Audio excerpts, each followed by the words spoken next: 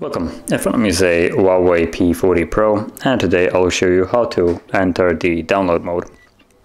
So to get started let's hold power key and select power off. And while the phone is powering off, you want to get your cable that you use for charging, plug it into your computer and then get the phone. And on the phone you want to hold only volume up and while holding volume up, you're gonna plug in the cable.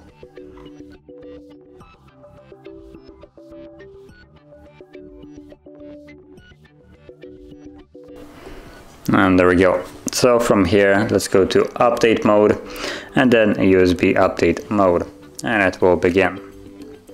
I'll give it a couple minutes to take several minutes and it's gonna look like it's stuck at 5% for the entire time. Um, so yeah, just be patient.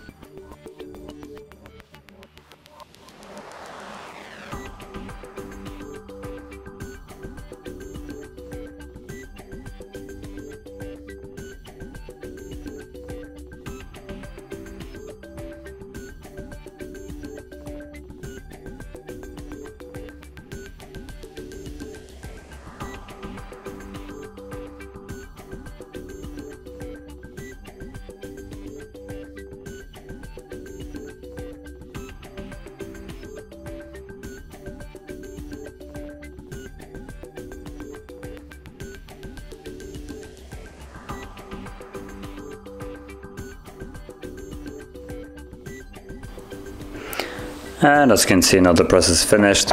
So if you found this video helpful, don't forget to hit like, subscribe and thanks for watching.